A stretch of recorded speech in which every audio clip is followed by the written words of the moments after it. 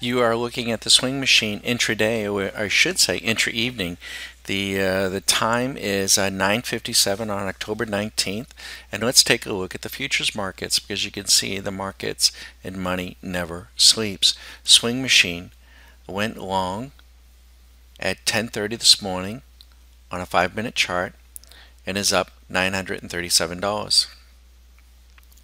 It went long at 105 on the Russell is up 600.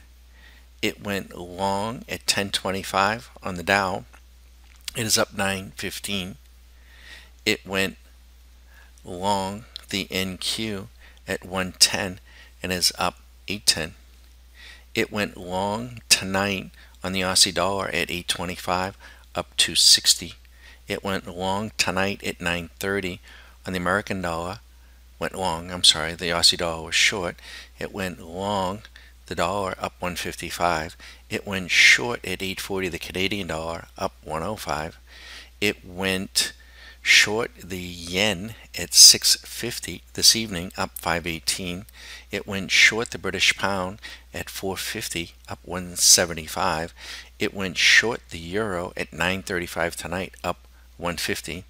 Oil down 30, gasoline down 75. Gold, it went short at 910 less than 40 minutes ago, is up 430, 440.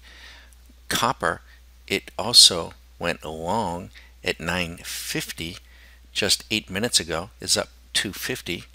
Treasuries short from 920 this evening up 218 and 531 respectively. This also gives you the ongoing trend information. As you know, we were short very early this morning, and with, these are our positions right now. Once again, folks, I'm Bag of Don at StockMarketCaddie.com. We built this proprietary system that we use to trade our own money day in and day out. Does not use moving averages. Does not does not muse, muse. It does not use uh, MACDs and stochastics because none of that crap works. We developed a proprietary system over the last 10 to 15 years that runs on the TradeStation platform. We share this with our members on a daily, weekly, monthly view through videos in the evening.